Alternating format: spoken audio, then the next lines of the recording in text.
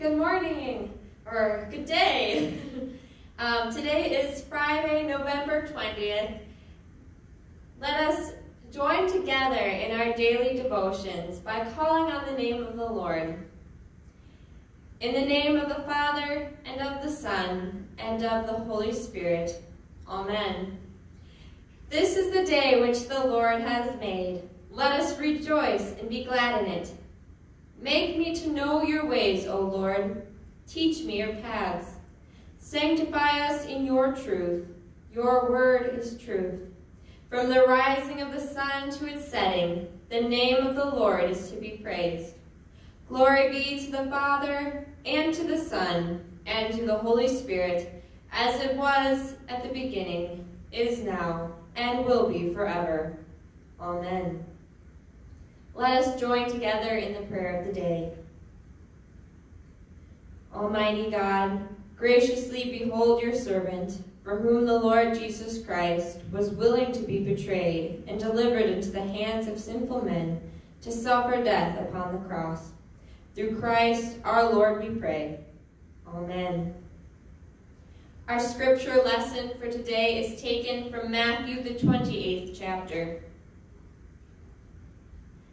Now after the Sabbath, toward the dawn of the first day of the week, Mary Magdalene and the other Mary went to see the tomb.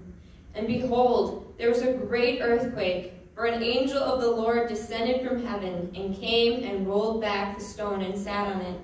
His appearance was like lightning, and his clothing white as snow.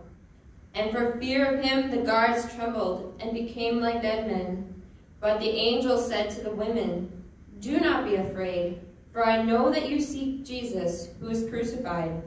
He is not here, for he has risen, as he said. Come, see the place where he lay.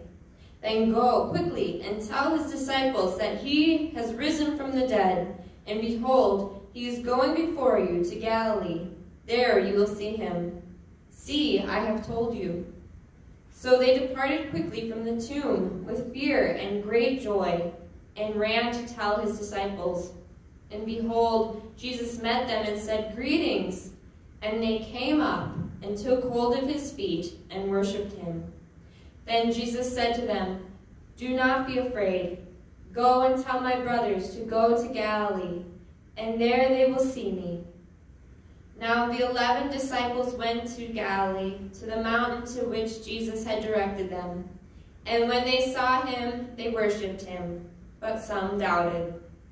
And Jesus came and said to them, All authority in heaven and on earth has been given to me. Go therefore and make disciples of all nations, baptizing them in the name of the Father, and of the Son, and of the Holy Spirit teaching them to, to observe all that I have commanded you. And behold, I am with you always, to the end of the age. Here ends our scripture lesson for today. What a moment! The women go to the tomb, and there they experience a great earthquake and hear and see a dazzling announcement from an angel that Christ had risen they were invited to see his former resting place and sent with instructions to transmit this glorious message to the disciples. Of course, they left with fear and great joy, running to tell the disciples, and on their way they meet Jesus. Now they know it is true. And Jesus stays with them on earth for 40 more days, so that there be no doubt that this was real. Christ truly had defeated death and sin. Yet, as some of his disciples came and met with him and they saw him, they doubted. Here we see a continued problem and why Jesus had to come and die in the first place. Sin is always trying to place doubt and unbelief in our hearts. But Christ does not turn them away. He reassures them, pulling them away from their sin and towards him and he gives them the authority to go out into all the world in his name, promising he will never leave them, and in the same, promising that he will never leave us. Let us pray together. Lord, erase all doubt within our hearts, that we may follow you where you lead us. Amen. We continue with the prayer that Jesus has taught us. Our Father, who art in heaven, hallowed be thy name. Thy kingdom come, thy will be done, on earth as it is in heaven. Give us this day our daily bread, and forgive us our trespasses, as we forgive those who trespass against us. And lead us not into temptation, but deliver us from evil. For thine is the kingdom, and the power, and the glory, forever and ever. Amen.